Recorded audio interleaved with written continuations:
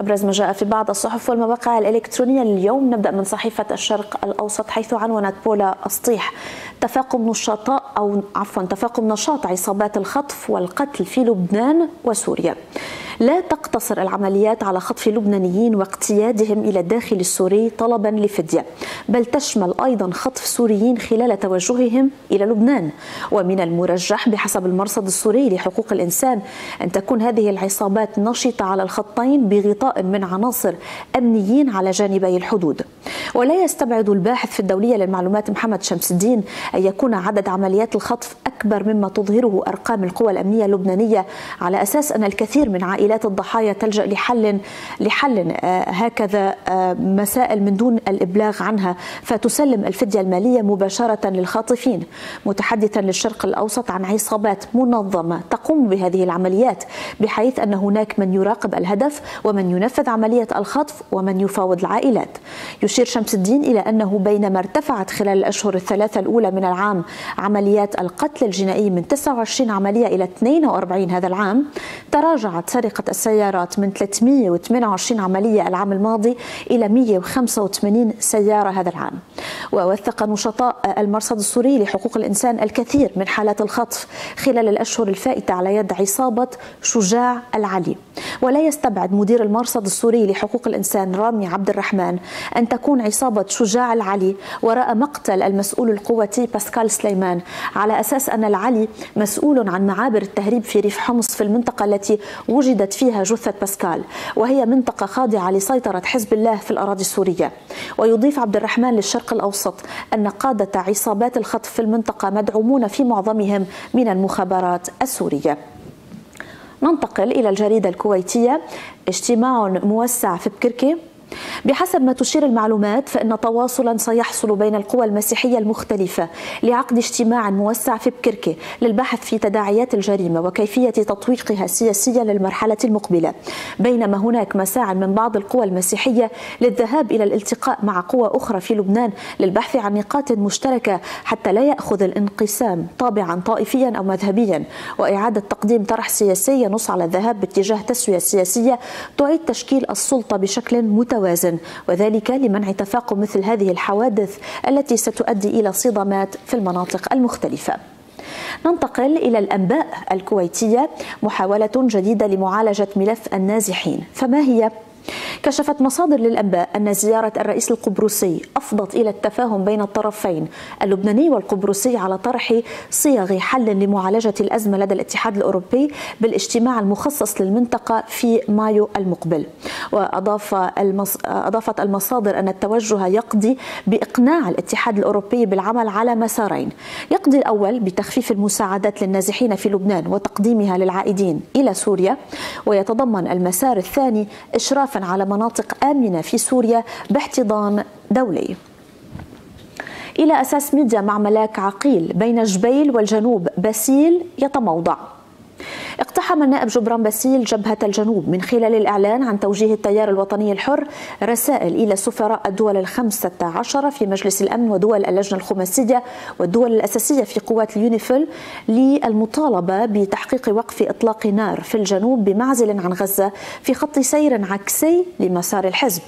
وفق معلومات أساس وضع باسيل مسبقا رئيس مجلس النواب نبيه بري وقيادة الحزب في جو خطابه بعد اجتماع المجلس السياسي للتيار. ولم يلقى ممانعة سلبية من الجانبين أي محاولة محاولة منعه من ذلك.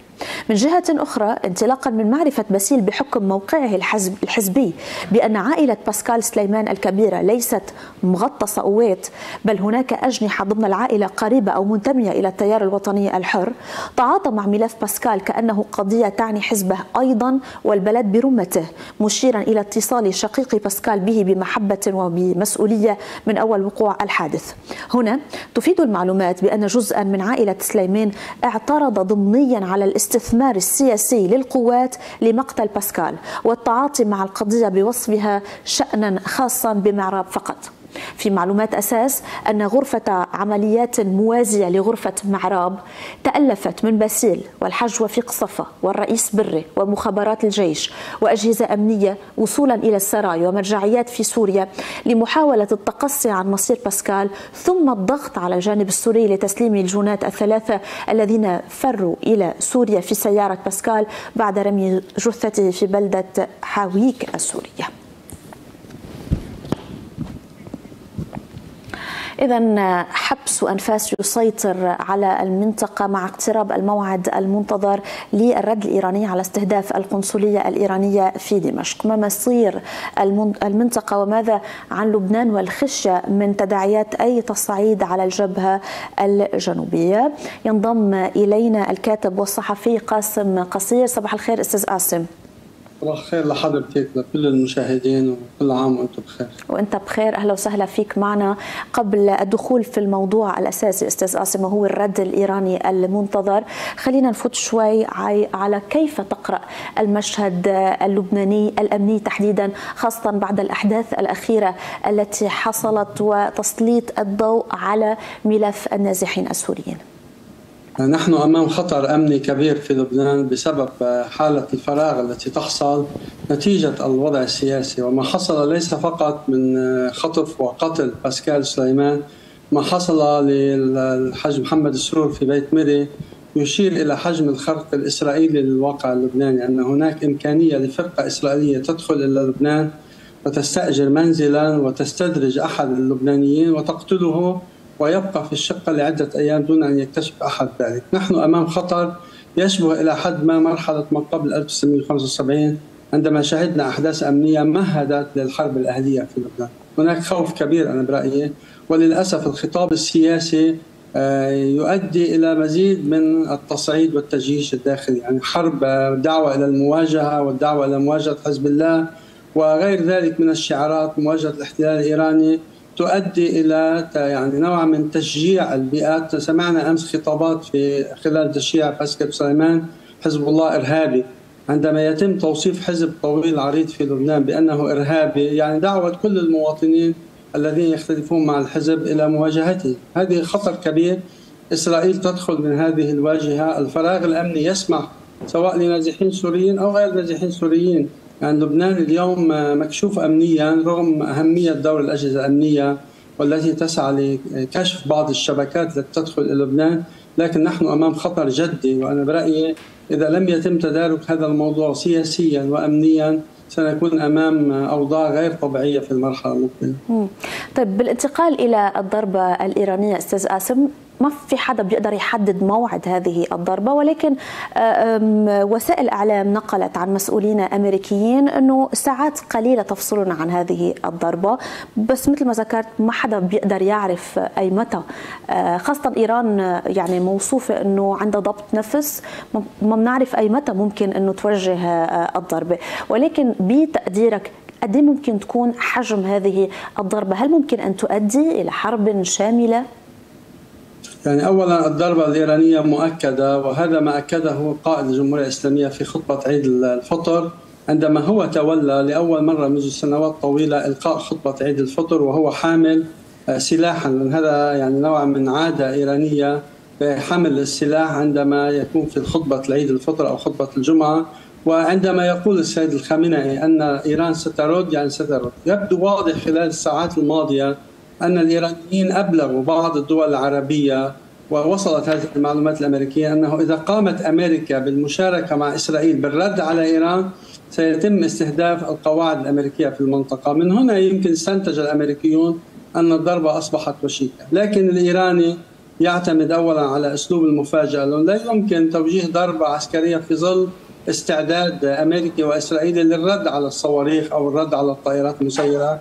ثانيا الإيرانيون حسب ما الملاحظ يلعبون بلعبة يعني الأعصاب مع الإسرائيلي يجعلون الإسرائيلي يقوم بحالة استنفار منذ أسبوع تقريبا وهذه انعكست سلبا على الواقع الإسرائيلي حتى تكون الضربة مفاجأة، أنا تقديري يعني يعني لا أستطيع أن أقول الأيام القادمة أو الساعات القادمة لكن الضربة لن تتأخر كثيرا وسيتم استهداف اسرائيل مباشرة وليس عبر الوكلاء كما يقول البعض أو خلفاء إيران.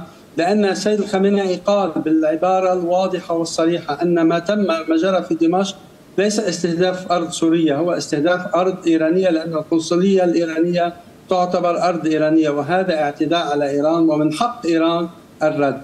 نحن ننتظر لا طبعا ليس عندي معلومات حقيقة لكن حسب مصادر الإيرانية التي أتواصل معها أن الضربة قادمة ولن تتأخر كثيرا. طيب أستاذ قاسم ذكرت إذاعة الإذاعة الإسرائيلية أن تل أبيب تستبعد أن إيران ترد من داخل إيران. من أين ممكن أن يكون الرد إذا؟ من سوريا؟ من ربما هجمات حوثية؟ ربما هجمات على سفارات إسرائيلية حول العالم؟ ماذا في المعلومات؟ أنا حسب معلوماتي أن الضرب سيكون من إيران. وأن الإيرانيين يستعدون اليوم ويجهزون سواء على مستوى الصاروخ أو الطائرات المسيرة.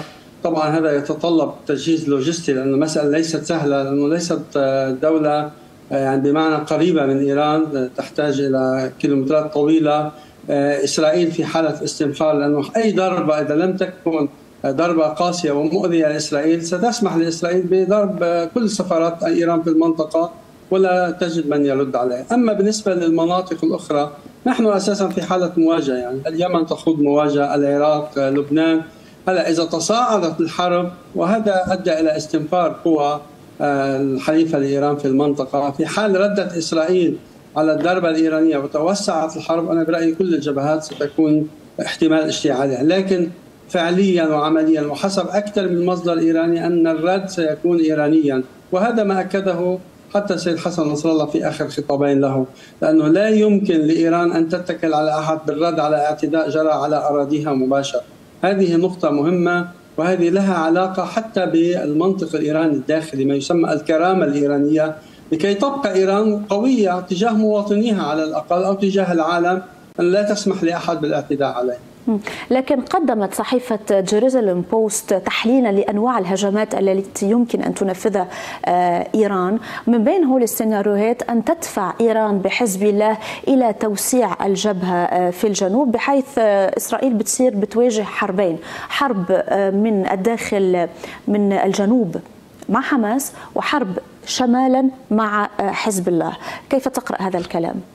يعني حسب معلوماتي حتى الآن حزب الله حريص على عدم الذهاب إلى حرب واسعة، وهذا ما حصل خلال الأشهر الستة الماضية إلى اليوم. يعني منذ بدء حرب غزة رغم حجم الضربات التي تلقاها حزب الله ولبنان طيلة الأشهر الستة وسقوط عدد كبير من الشهداء، حزب الله حرص وهذه طبعا برسم كل اللبنانيين الذين يتهمون حزب الله بأنه يريد أخذ لبنان إلى حرب، حرص على ضبط النفس أقصى درجات ضبط النفس طيلة الأشهر الماضية وأكد أن المصلحة الوطنية هي التي يعني تتح... يعني هي التي يعني تتحرك أو تحرك أدائه في المرحلة. أنا لا أعتقد أنه في هذه المرحلة حزب الله سيقوم بعمل لخدمة إيران بالمعنى أو لكن إذا تعرض لبنان إلى اعتداء إسرائيلي حزب الله جاهز ولكن فعليا إيران هي التي سترد ولن إلا إذا صعدت إسرائيل الجبهات كلها وهذا ما يريده نتنياهو منذ فترة نعم. وحزب الله مستعد حسب معلوماتي لأي توسعة للجبهة في حال قامت إسرائيل بذلك، أما أن يكون تصعيد الجبهة فقط لمساندة إيران غير مستبعد، لكن هذا المرتبط بالوضع بغزة كذلك. كلما تصاعدت العمليات في غزة حزب الله يساعد عملياته في الجبهة الجنوبية. اليوم نحن نلاحظ في الأيام الماضية يعني في تراجع بالنسبة للعمليات أساسا وطبعا أمس يمكن صار في إسرائيل وسعت دائرة الاستهداف إلى منطقة جبل ريحان وعرمتا لكن حزب الله عملياته لا تزال تقليدية في الأيام خلال عيد الفطر وبعد عيد الفطر. هلأ ماذا سيجري في الساعات أو الأيام القليلة؟ لا أحد يستطيع يمتلك معلومات لكن حزب الله جاهز لأي توسعه للحرب من قبل إسرائيل. نعم. الكاتب السياسي والصحفي قاسم قصير شكرا جزيلا لك على هذه المداخلة.